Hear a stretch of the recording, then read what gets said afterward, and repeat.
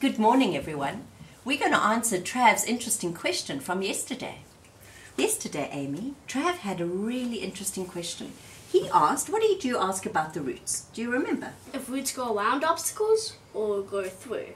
Exactly. Or, well, not through, under. Yeah. Well, let's look at our experiment. When we planted these seeds, we purposefully put a rock inside, and as we moved our stick down, so the water water line became lower, Did we figure the roots grew towards Water. the water. So we know that roots follow water.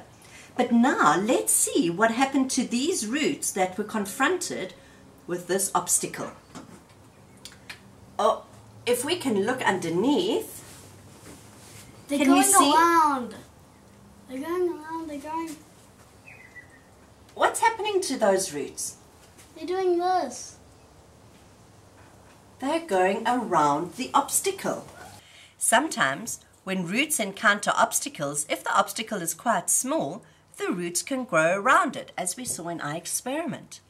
But other times, when roots meet up with a big obstacle that they cannot go around, they cannot go under, and they cannot go over, the root cap secretes a kind of acid that looks for a microscopic crack in the rock so that the root can slowly break the rock away or eat it away.